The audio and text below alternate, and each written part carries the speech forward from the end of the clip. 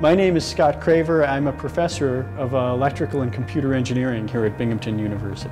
It is our goal to involve students in authentic research experiences involving real problems that the world really cares about. My research is mainly focused on the human facial expression recognition and the face recognition as well to investigate the algorithm uh, and design the software to make the recognition more precisely, accurately. Research projects we aim to involve students on are all related to problems in the real world. Security problems, problems in digital rights management, problems in biometrics, um, problems in computer vision, uh, and problems with wide applicability.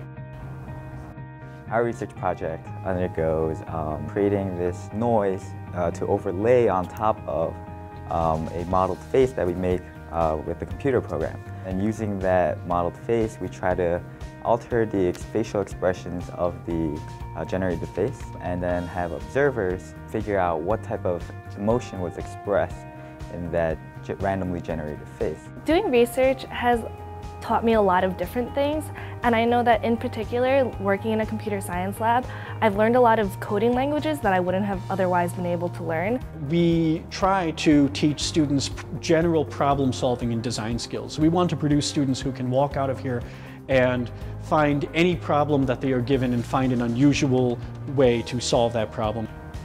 For undergrads to conduct hands-on research, I feel like it's a really rewarding experience and it, it allows students to really gauge what their interests are. I think that students that complete this program will find themselves at an advantage in their classes. Uh, they will find themselves better able to convince faculty that they have what it takes to work on research projects. I've interacted with a lot of the faculty on campus and everyone here is just really helpful. They want to support you in your future endeavors and they, they want you to learn. FRI will involve the freshman student in the research. They could give us even much more early uh, involvement of the students into the research lab. So we believe we could have an even more long period of time to train them.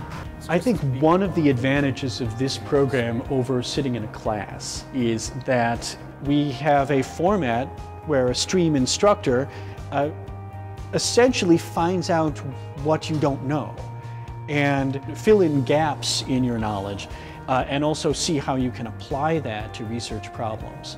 You choose to do research, you're interested in this field, okay, like go and read about it and then like help design this experiment and like help code this program. It's, it's just such a good experience.